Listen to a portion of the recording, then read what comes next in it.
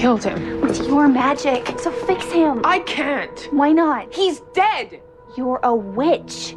Do a spell. Bring him back to life. I'm not God, Eva. I can't just make someone live. I unlock locks and I cheat at cards and I get hot pizza guys and I can't even do any of that without someone helping me. You're lying. I'm not. What you're asking for is impossible. I didn't ask for any of this. I don't want your magic. I just want Lee back. I'm sorry, but he's gone.